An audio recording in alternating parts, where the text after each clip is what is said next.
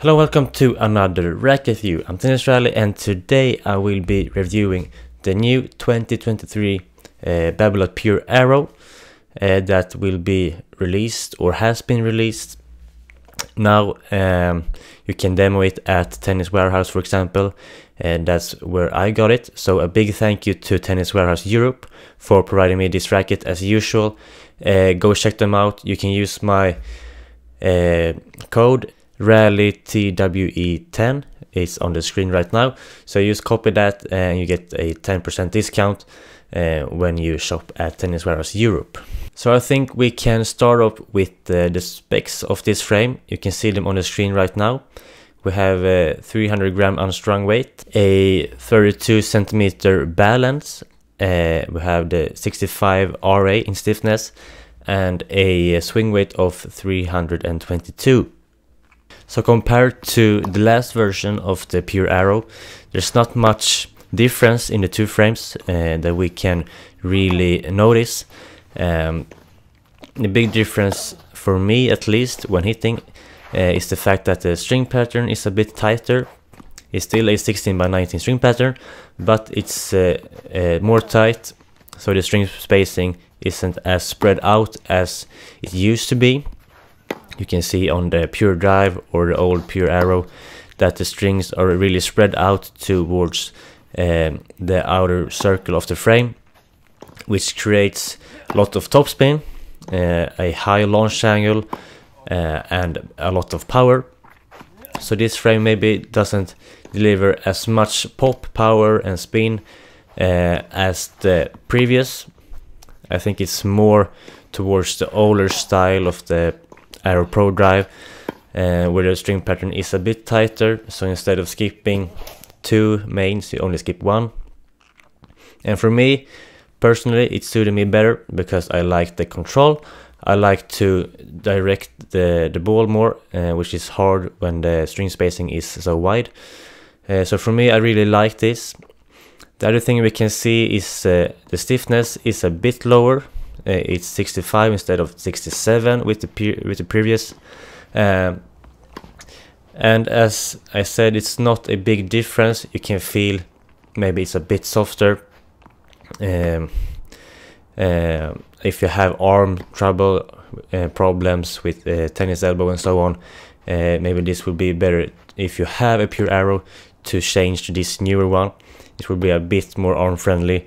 Still nothing you should uh, go with if you have arm problems.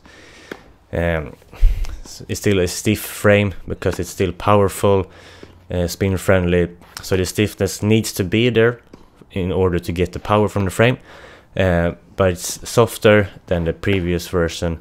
So if you have problems maybe you should consider to switch to this one so as we all know by now, hopefully, this frame is used by Rafael Nadal.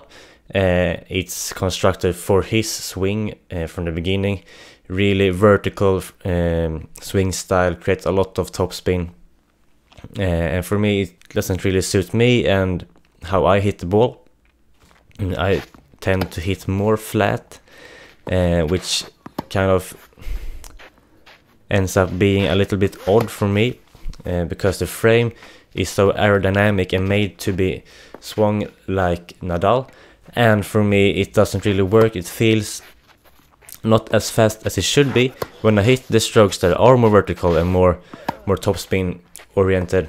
I feel like I get a lot of swing speed uh, and therefore a lot of more topspin uh, but for example in my backhand and so on, I feel like it's not helping me as much as it should be.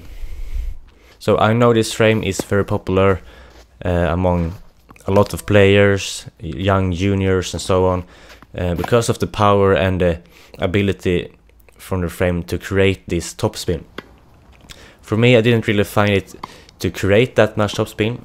I tried to play uh, with the, the head extreme at the same time, and also my own racket, which is the Yonex VCore Pro, uh, and I didn't feel like I got more topspin uh, or more angles or anything.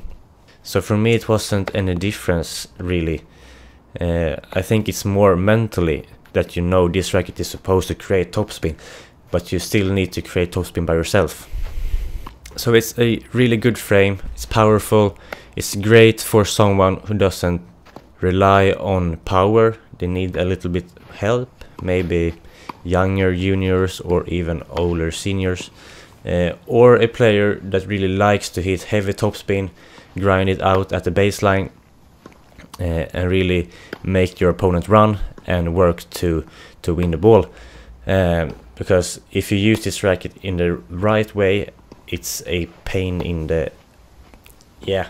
Uh, I met players using this frame and it's really difficult, especially on clay, uh, when they hit these heavy topspin shots.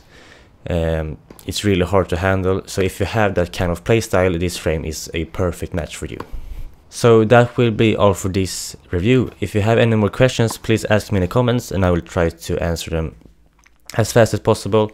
Uh, and stay tuned for a comparison video with the Babolat Pure Aero and the Head Extreme.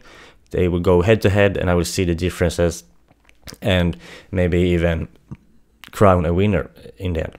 So that would be all for me. Have a great time and don't forget to subscribe to the YouTube channel and I'll see you in the next video. Bye.